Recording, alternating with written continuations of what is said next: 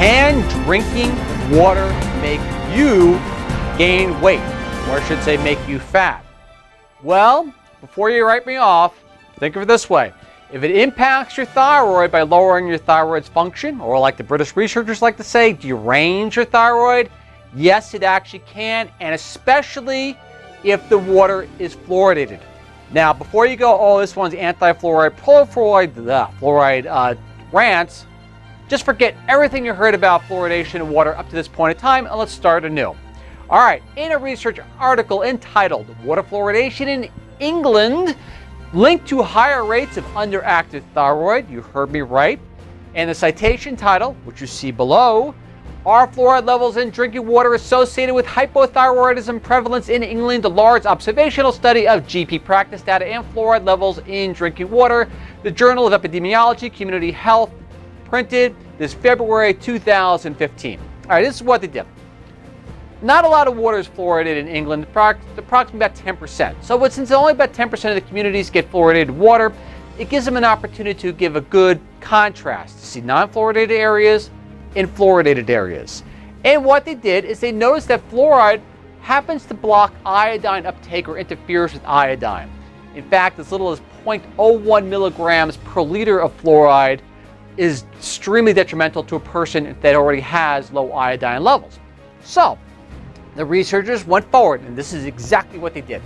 After taking into account of influential factors such as female sex and older age, both which link to increased risk of hypothyroidism, they found an association, this is their words, not mine.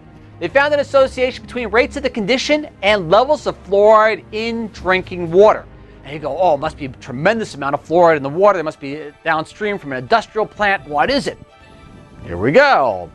Says in the areas with fluoride levels of 0.7 milligrams per liter. 0.7 milligrams a liter. Where do I recognize that number from again? Oh, yeah the CDC, when they said the Health and Human Services proposed changes the recommended level for community water systems down to 0.7 milligrams per liter.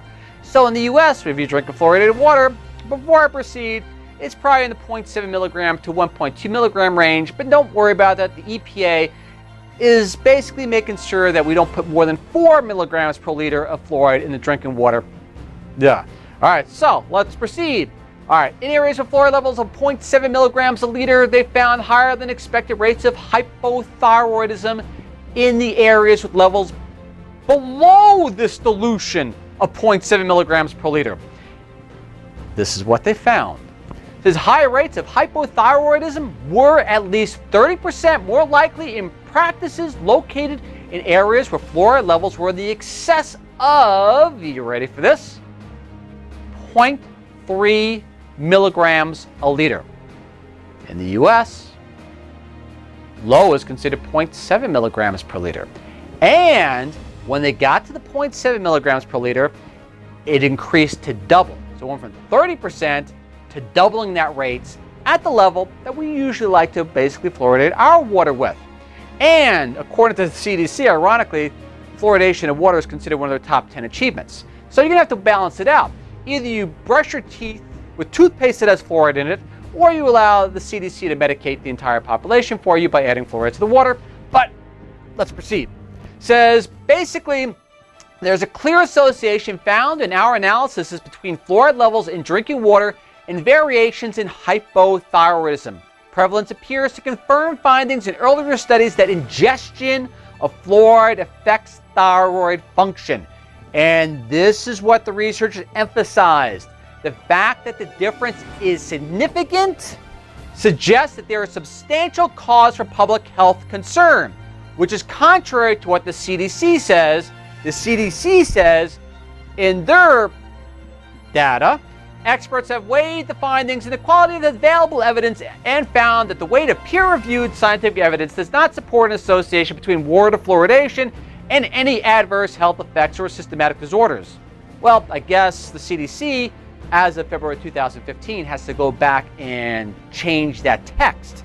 Because the United States, between 4% and 5% of the US population may be affected by what's called deranged thyroid function, making it among the most prevalent of endocrine diseases in our country. So, The researchers actually used, from Britain actually used that deranged thyroid rate in the United States to formulate their hypothesis that fluoridation was causing people's thyroids to go ugh. So, before the CDC or any social health advocates begin to incorporate their own personal altruistic behavior in offering to medicate you against your will, maybe a better recommendation would be just to basically brush your teeth. It's Ralph Turchiano signing off. Once again, thank you.